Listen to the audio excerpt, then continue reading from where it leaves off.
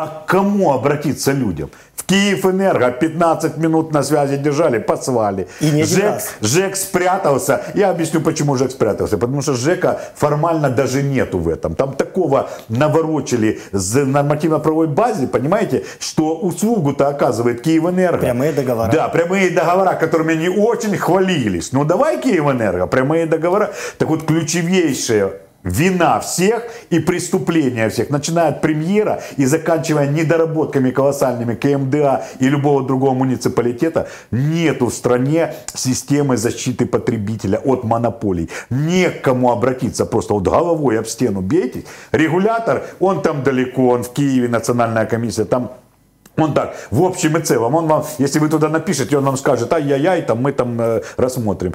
Э, жилищники говорят, это не наше. Киевэнерго 15 минут он с вами на связи.